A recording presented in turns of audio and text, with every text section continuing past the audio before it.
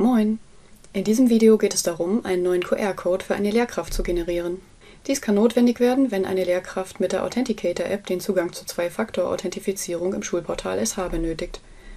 Die Ersteinrichtung kann die Lehrkraft selbst vornehmen. Nur wenn sie zum Beispiel ihr Handy wechseln möchte oder den Code verloren hat, ist dies ihre Aufgabe als schulische Administratorin oder schulischer Administrator.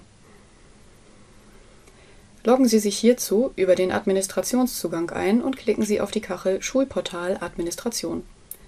Dort wählen Sie Administration Zwei-Faktor-Authentifizierung. Geben Sie in der Suchmaske den Benutzernamen der Lehrkraft ein, für die ein neuer QR-Code erzeugt werden soll, und klicken Sie auf die Lupe.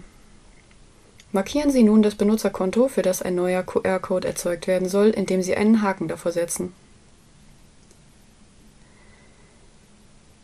Klicken Sie anschließend auf QR-Code Handy-Token. Das müssen Sie noch einmal bestätigen und dann wird Ihnen ein neuer Code angezeigt.